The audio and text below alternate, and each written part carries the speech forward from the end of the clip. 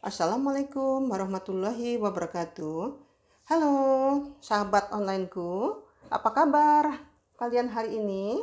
Sehat bukan? Semoga kalian semua selalu dalam lindungan Allah, sehat, sukses. Apa yang dicita-citakan terkabul ya. Bahagia bersama keluarga. Amin. Kali ini saya dari Zenik TV mau menghadirkan ke hadapan kalian adalah suatu masakan yang enak banget yaitu masakan dari Padang namanya sambal lado tanah. Sambal lado tanah ini tidak asing lagi buat kami dari Padang. Adapun yang bahan yang saya siapkan adalah teri. Teri sini sekitar 2 on ya. Saya cuci bersih. Setelah itu telur puyuh. Telur puyuh ini sudah saya kupas bersih. Setelah itu tidak lain lagi jengkol. Ini sudah saya rebus nih makanya warnanya agak coklat ya. Saya merebusnya dengan kopi sehingga aroma jengkolnya sudah hilang. Ini sudah saya geprak. Sudah tinggal memasaknya ya. Nanti dibubuhkan juga dengan lombok giling. Lombok giling ini sengaja saya datangkan dari Padang. Nanti saya memakainya 2 sendok cukup. Tapi bagi kalian yang ingin pedas bisa 4 sendok atau 5 sendok ya. Jadi saya tidak menggiling lombok lagi. Tidak kalah penting santan kental dari kelapa satu setengah kelapa saya peras tadi. Saya ambil kentalnya saja cukup banyak ya. Ini masih ada lagi tidak muat tempatnya teman-teman semua. Nah ini. Ini sambal lado tanah ini sambal lado yang enak banget. Pasti orang-orang Padang tidak pernah lupa dengan ini ya. Untuk bumbunya saya memakai daun kunir dua lembar. Sudah saya cuci bersih ya tentunya sudah itu daun salam 4 lembar, saya mempunyai yang kering. Daun jeruk 4 lembar, ini kebetulan agak kuning, udah tua ya. Saya pakai 4 lembar. Serai 2 batang nanti saya geprak. Kunir 2 cm. Lengkuas 3 cm nanti digeprak jahe karena yang kecil ini sekitar dihitung 2 cm lah ya teman-teman.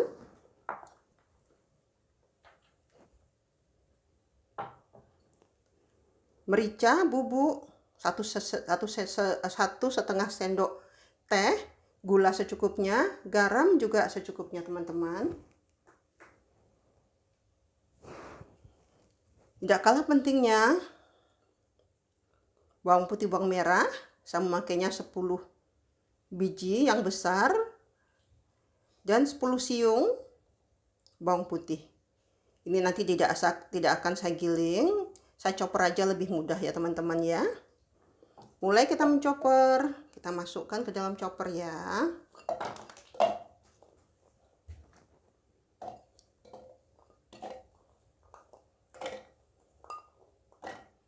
Kita chopper kita masukkan kunir dan jahe ya teman-teman ya. Bumbu sudah jadi. Saya chopper ya teman-teman. Lebih simple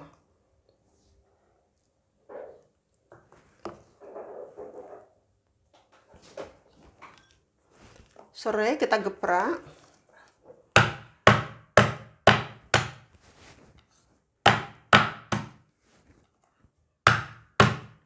apabila kita masak kita berani bumbu Insya Allah masakan kita menjadi enak ya ini saya geprak juga lengkuasnya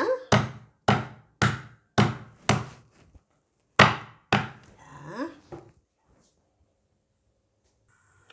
santan kita masukkan ke wajan kita aduk-aduk nanti ya bagi teman-teman yang baru bergabung Jangan lupa subscribe. Bunyikan loncengnya ya.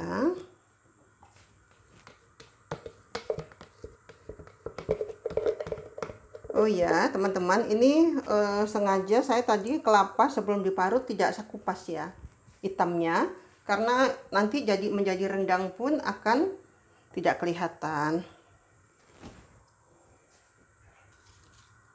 Daun jeruk kita masukkan.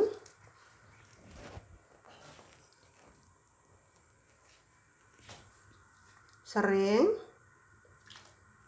Lengkuas.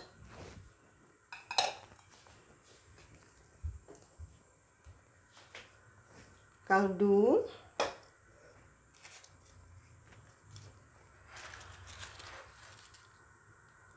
Daun salam.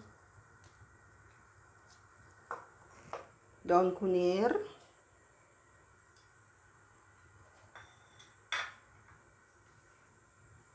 garam gula merica bubuk.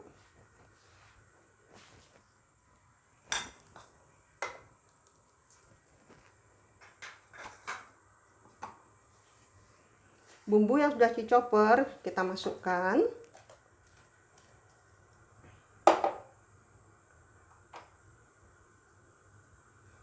Kita bersihkan teman-teman ya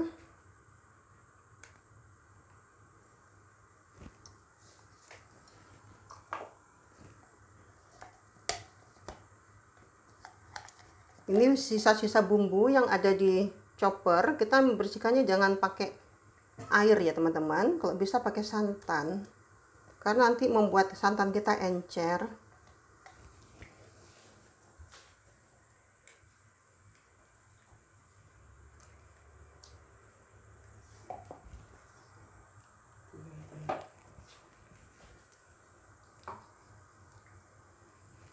lombok giling. Saya memakai lombok gilingnya tidak banyak ya teman-teman. Karena kita di sini ada anak kecil nanti dia tidak bisa memakannya teman-teman ya.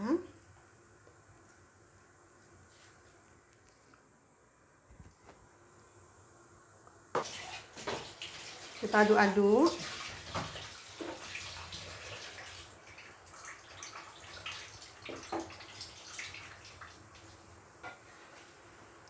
kita mengaduknya jangan sampai putus ya teman-teman. Karena nanti kalau putus ini apa namanya santannya pecah. Saya ingatkan teman-teman nanti untuk memberi garamnya harus hati-hati ya. Karena kita memakai teri teri agak asin jadi kita lebih baik kalau kurang kita beri garam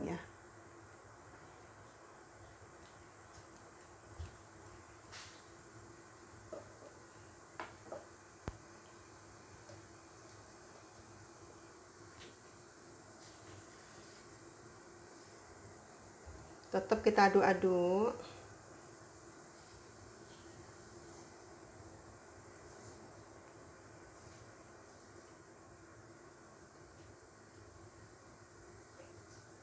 kalau di Padang lebih enak lagi kita masaknya pakai kayu bakar.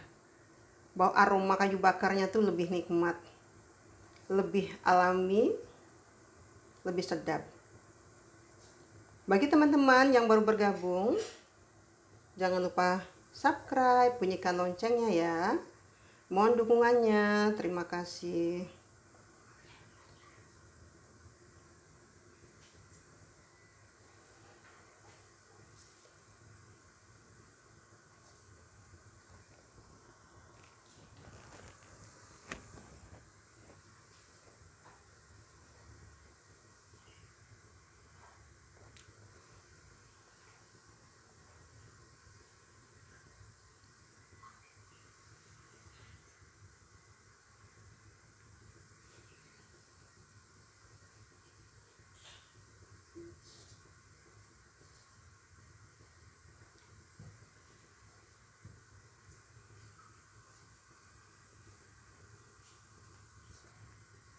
Udah mulai mendidih.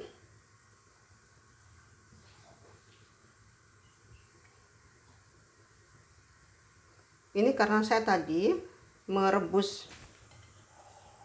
jengkolnya agak ke keempukan jadi saya belum berani memasukkannya ke dalam santan. Kalau kita masukkan jengkol mentah kita bisa memasukkannya lebih awal ya teman-teman saya kecilkan apinya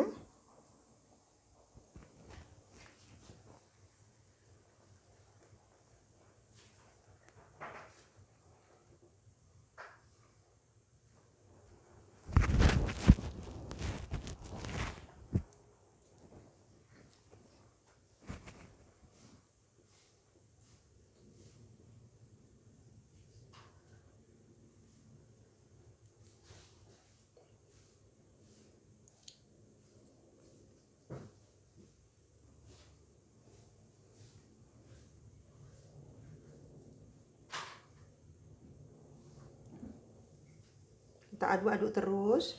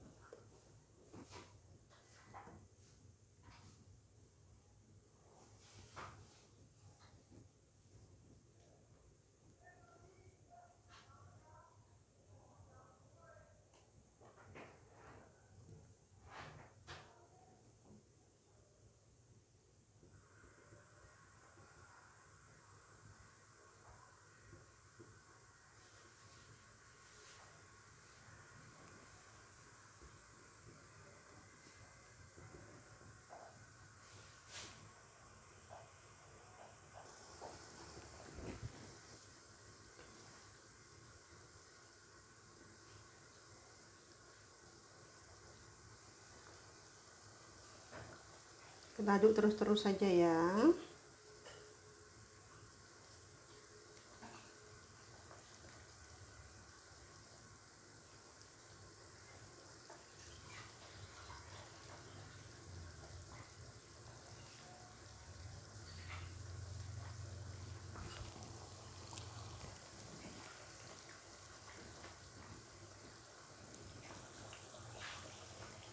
Kita masukkan jengkol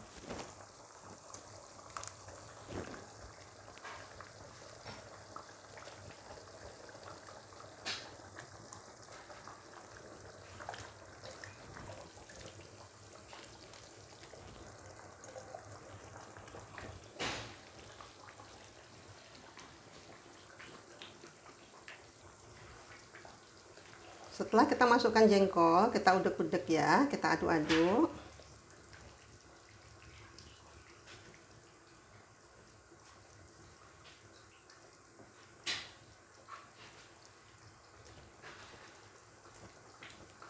Jadi ini rahasianya ya teman-teman. Apabila mau masak jengkol jengkolnya enak dan tidak bau sebaiknya kalian merendamnya dulu satu malam setelah itu kalian merebusnya pakai kopi ya teman-teman. Sehingga jengkol itu lembut dan tidak bau.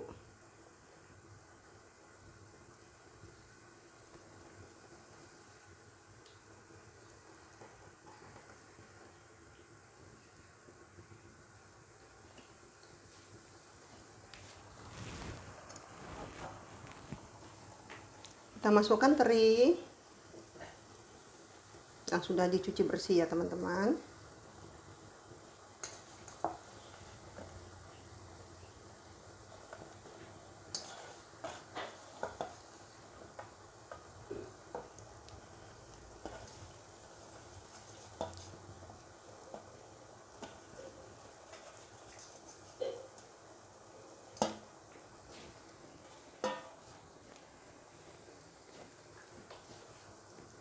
tetap kita aduk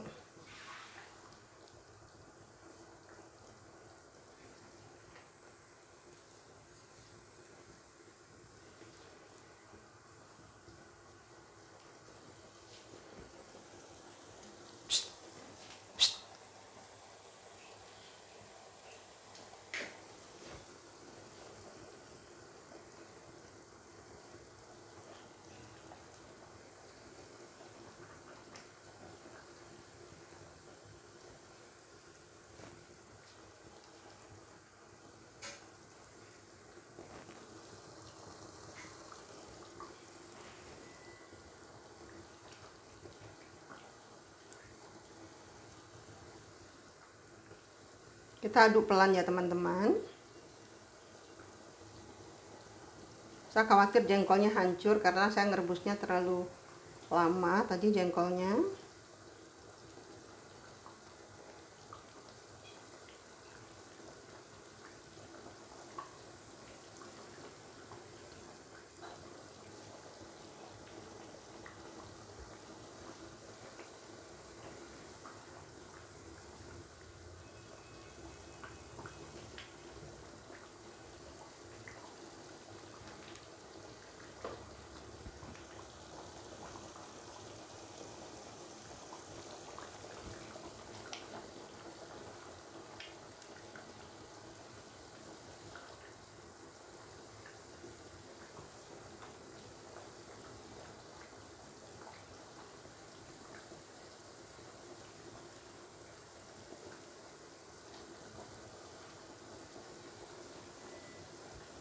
kita koreksi rasa.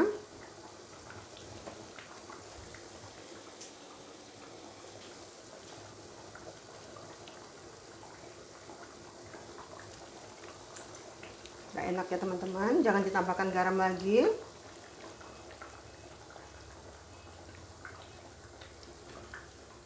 Karena saya kira kurang gurih perlu saya tambahkan gula sedikit.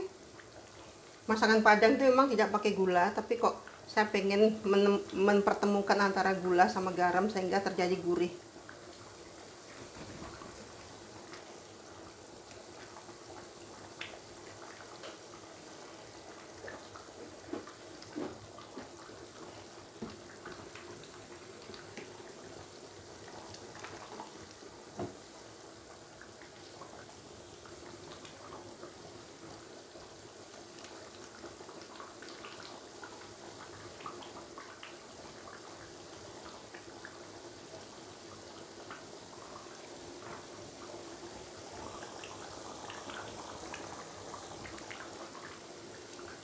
udah agak besar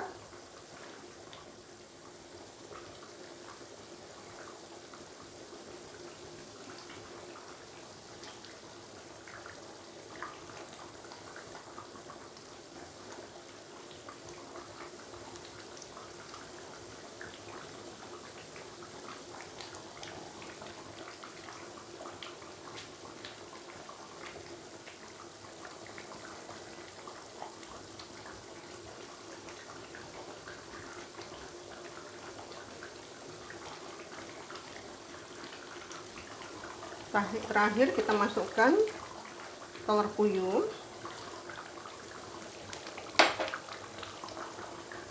Kita aduk-aduk.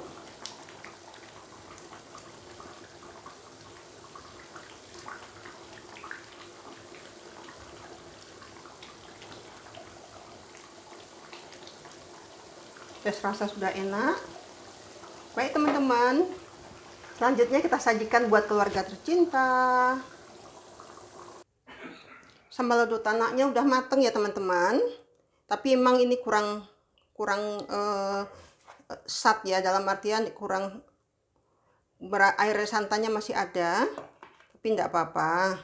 Udah enak banget ini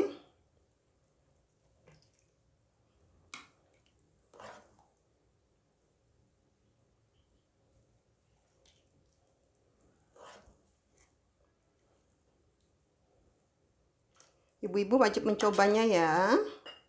Terima kasih selama ini sudah mengikuti video Zenik TV. Hmm. Sambal lado tanah yang enak banget kita padukan dengan jengkol.